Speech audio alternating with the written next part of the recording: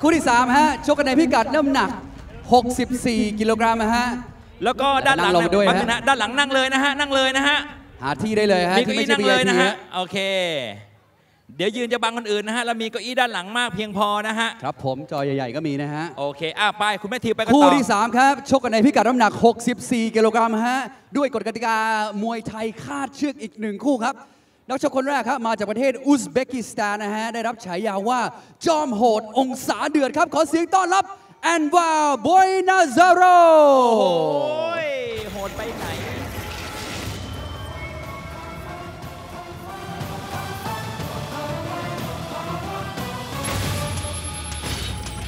อันวาบอยนาซารอฟ จอมโหดองศาเดือด ประเทศอุซเบกิสถาน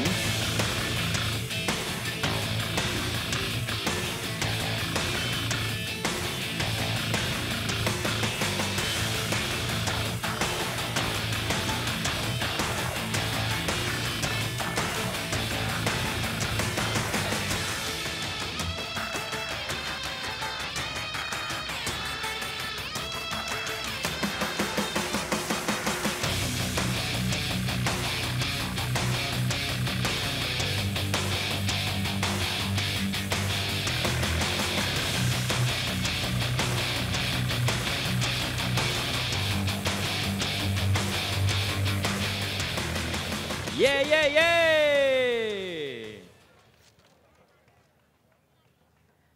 เอาละและคู่ต่อสู้ของเขานั้น เป็นนักมวยคาดเชือกจากจังหวัดแพร่ ขอเสียงต้อนรับอสูรร้ายลุ่มน้ำยม โงกุลไซโยกมวยไทยเยี่ยม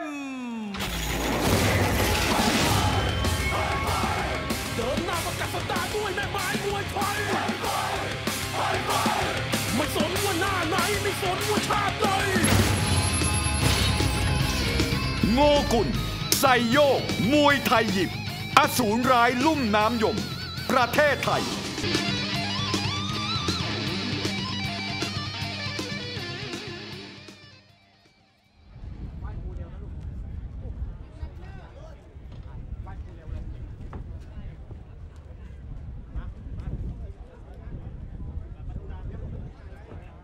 บมาติดตามในคู่ที่ 3 นะครับ ไทยไฟท์นายร้อยพระจุลจอมเกล้าโงกุลไซยกมวยไทยยิมครับ เจอกับทางด้านของอันวาบอยนาซารอฟนะครับ นักชกจากอุซเบกิสถานครับ ในพิกัดน้ำหนัก 59 กิโลกรัมครึ่งมาดูประวัติทางด้านของอันวาบอยนาซารอฟนะครับ อายุ 25 ปีครับเบญจเพศพอดีเป๊ะเลยนะครับ เกิดเมื่อวันที่ 10 มกราคม 2532 ครับ ที่สาธารณรัฐอุซเบกิสถาน 171เซนติเมตรน้ำหนักก็ 59 กิโลกรัมครึ่งครับ ในส่วนของมุมดำนะครับ โงกุลไซโยกมวยไทยยิมแหมเมื่อกี้สุนทรกรมวยไทยยิมไปแล้วนี่ไซโยกบ้างนะครับอาสุรร้ายแห่งลุ่มน้ำยมครับ ชื่อจริงเขาชื่อนายเด่นไทยคำนะฮะอายุ 29 ปีครับอำเภอเมืองจังหวัดแพร่เป็นคนทางภาคเหนือนะครับแมดูจาก กำยำแล้วนี่ไม่ธรรมดาครับมาจากภาคเหนือนี่อึดแน่นอนครับ ส่วนสูง 165เซนติเมตรชกมาแล้ว 139 ครั้ง ชนะ 114 ชกมาทั้งหมด 139 ครั้ง ชนะ 114 ครั้ง แพ้ 23 แล้วก็เสมอ 2 ครั้งครับ เป็นแชมป์ภาคเหนือด้วยครับตอนนี้นะครับรุ่น 38 กิโลกรัมแต่เด็กๆเลยนะฮะ112 ปอนด์ถือว่าครับเป็นยอดเอสทางภาคเหนือโงกุลเองก็ยังถือว่าเล็กกว่าทางด้านของบอยนาซารอฟนะครับนักชกจากอุซเบกิสถาน อุซเบกิสถานนี่ก็แยกตัวมาจากรัสเซียครับ ก็มีอุซเบย์มีคาซัคสถาน ครับ อะไรที่ฐานฐานๆนี่เยอะครับเลยคีจิเคิร์กิสถานทาจิกิสถานอ่านะฮะไม่ใช่แล้วไม่มีทันสถานนะครับ ครับ ไม่มี ไม่มีครับอ่าโอ้โหครับแหม่เป็นผู้ชายที่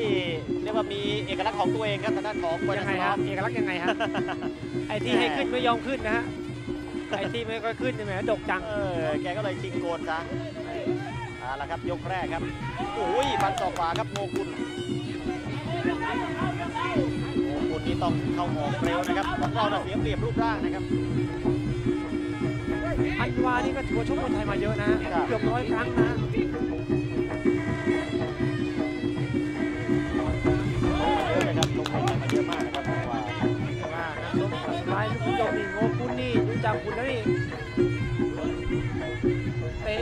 อยหมัดแน่นอนนะครับดูจากบุญกันแล้วนี่โอ้โห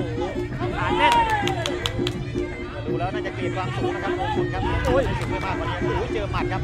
ระวังระวังครับชาวต่างชาติที่สำคัญตรงนี้ครับกำปั้นเขาหนักครับคือการชกของเขานี่คือทักษะการชกเขาโอ้โหทักษะการชกของเขานี่คือมันหมัดหนักอยู่แล้วนะฮะการชก อยู่แล้ว แต่ว่าการเตะนี่อาจจะสู้ไทยไม่ได้แต่เพราะฉะนั้นการเข้าถึงตัวต่างชาติต้องระวังหมัดด้วยแทงซ้ายครับโงกุลไม่ไม่แลกไม่ปะทะนะครับ เพราะว่าเราเสียเปรียบรูปร่างแม่เห็นสาวเบียช้างเอาน้ำมาเสิร์ฟพี่ผมอยากรีบอยากกินน้ำเลยครับอยากกินให้หมดเร็วๆครับน้ำลายไหลครับเชฟปองน้ำลายไหลอยู่น้ำอากาศร้อนอากาศร้อนนะครับ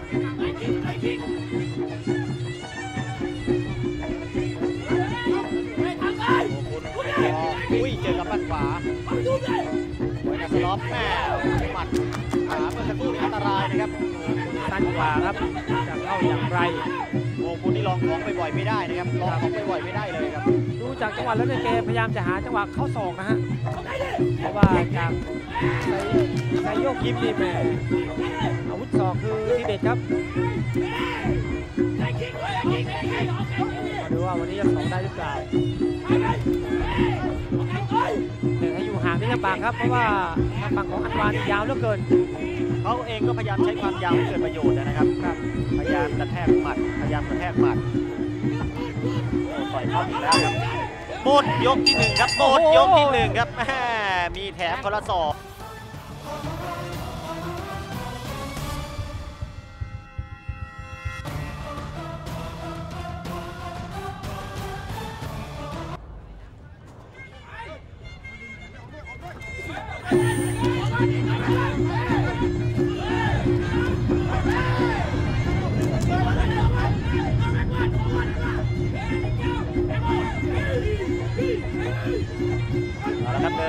มาถึงยกที่สองครับ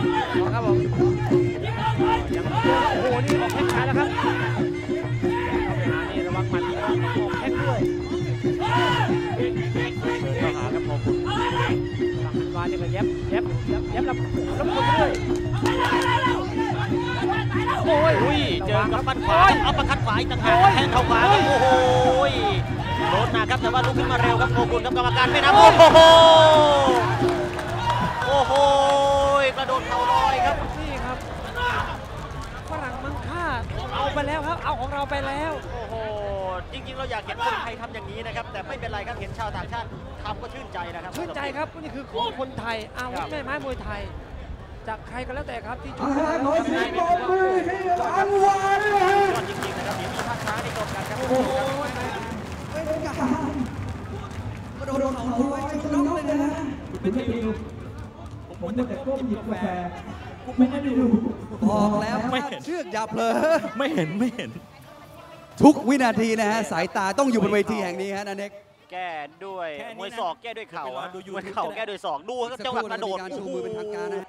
นทางการนะฮะแม่สวยงามครับลูกนี้ คือแค่ศอกอย่างเดียวก็หนักแล้วนะครับ นี่คือโดดมาทั้งตัวเลยครับขอเสียงปรบมือให้กับโงกุลด้วยนะฮะพลังที่ส่งมาจากสะโพกฮะ ดันมาที่ปลายคาง โอ้โอ้โหโหฝเป็นรั่งปลายคางครับแมมเต็แมมร้องโอ้ my god